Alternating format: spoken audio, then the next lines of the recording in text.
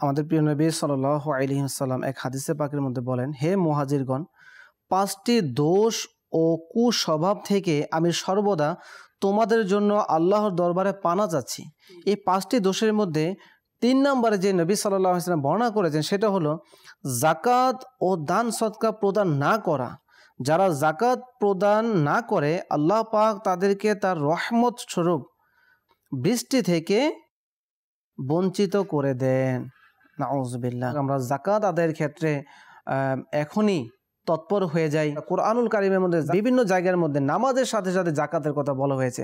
আর যখনই আমাদের নবী সাল্লাহ ইসলাম জাহিরিভাবে পর্দা করেছেন, যখন সৈদুল্লাহ সিদ্দিক আকবর রদিয়াল্লাহ তালা আনুর খেলাফতের সময় আসলো, তখন কিছু ব্যক্তি জাকাতকে অস্বীকার শুরু করলেন। তারা তালবাহানা শুরু করে দিলেন।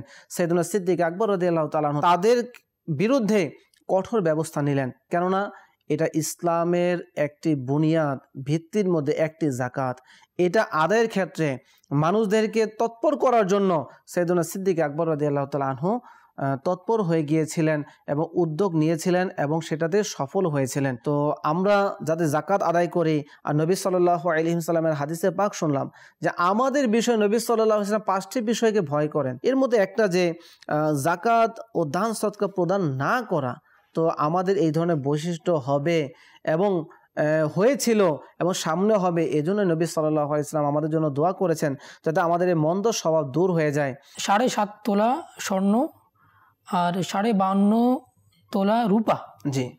বা সমপরিমাণ অর্থ আছে। জি। এবং ওই অর্থের এক বছর পূরণ হয়ে গেছে। জি। এক বছর ধরে তার কাছে আছে। তাহলে তার উপর জাকাত দিতে হবে।